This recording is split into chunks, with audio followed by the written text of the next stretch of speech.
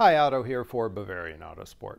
In today's DIY video, we're going to be replacing the front windshield trim strips on a later model BMW. This applies to most BMWs from the mid to late 90s on. There are exceptions. You can check with us if your vehicle applies to this DIY video. We're going to be using the common E39 5 Series for our example. Now these trim strips, they dry up and they start to crack and they basically just look ugly. Additionally, they can allow water into the channel between the windshield and the body and promote rust in that area, which we certainly don't want. Now many owners are told when they go to a shop that the complete windshield must be removed to replace these pieces. This isn't the case. They do pull out and the new one fits in between the windshield and the body. We'll be showing you how to do this, and all we need for tools is our non-marring pry tools, and you should have some single edge razor blades available to help clean up the windshield once the gasket piece is out. Let's go ahead and take a look at this, but first remember, all of the parts you see here are available in our online store at bavauto.com, or give our advisors a call at 800 535 2002 and they can help you with the setup and let you know if this applies to your vehicle as well.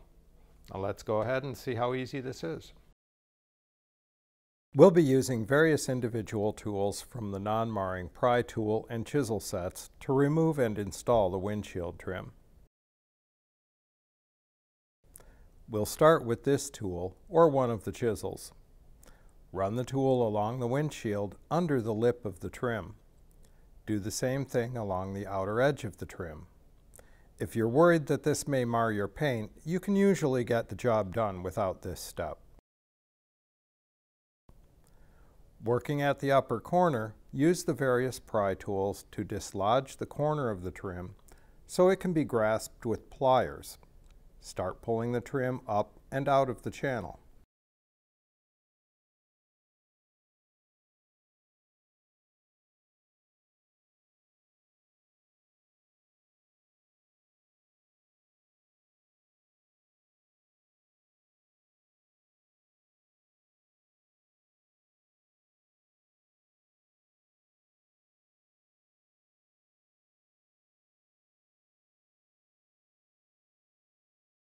Clean up the glass and the paint edge using the non-marring chisels and pry tools and any cleaner that you choose.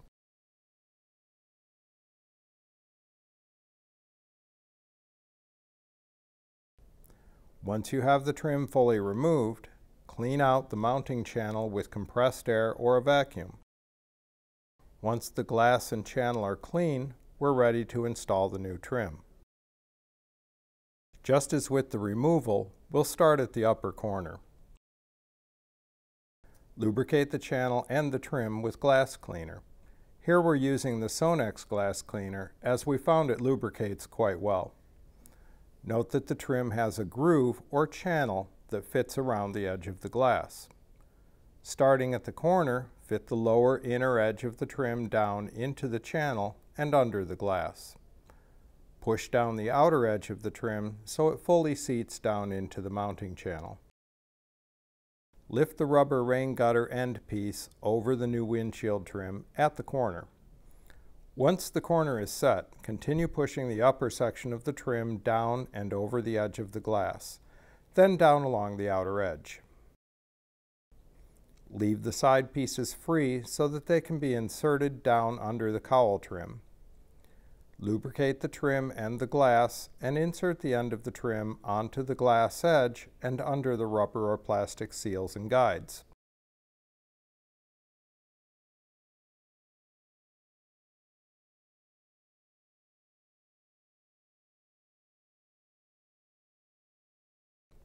Push the side trim section fully downward and install it along the sides of the glass.